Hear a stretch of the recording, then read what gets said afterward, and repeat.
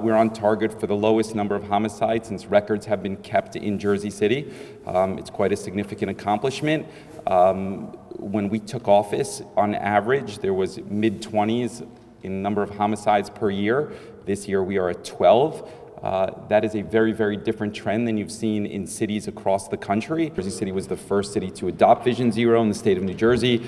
Um, the results speak for themselves. This will be the first year that Jersey City will record um, zero traffic deaths on the Jersey City streets. It's significant progress. We've made a large investment in the problematic intersections just based on the data more bump outs, more speed bumps, more road diets, and the results are clear, safer driving throughout Jersey City and ultimately saving lives. Some of the improvements that we've made over the past few years since we committed to Vision Zero include installation of over 600 speed humps, uh, restricting right turns on red lights at close to 200 intersections, a number of pedestrian plazas, street redesigns, protected bike lanes, and other uh, facilities for those vulnerable users, traffic signal upgrades, specifically prioritizing pedestrian crossings at unsafe intersections, and countless other measures that we've partnered with multiple agencies throughout the city on to achieve this goal. When we inherited the police department in 2013, the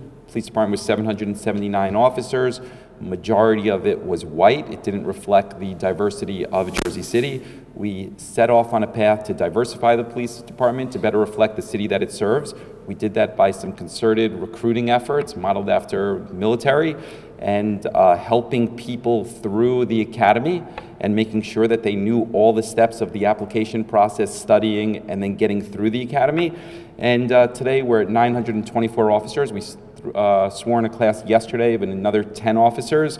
Um, and today the city is, the police department is majority minority, better reflecting Jersey City, and that is no small accomplishment and a testament to the City Council's commitment on this front. The fire department today is at the largest levels it's been in the history of the fire department. The last year was significant. You've heard Chief McGill speak about this numerous times. Um, we've added companies, we repurposed old companies. We've changed the ranks and the supervision structure, enhanced supervision, um, and today the fire department um, is at the largest level it has ever been, and uh, we've been able to promote again there more diversity. We have our first female deputy chief, the highest ranking female in the state of New Jersey, promoted last month. Our last slide um, focuses on the budget and the budget growth. Um, and this will give you a little bit of a picture. It speaks for itself from 2014 to 2022, where the investments are, more people, different type of personnel, more supervision, um, and this is really, as I said earlier, a thank you to the City Council for their unwavering support on that front.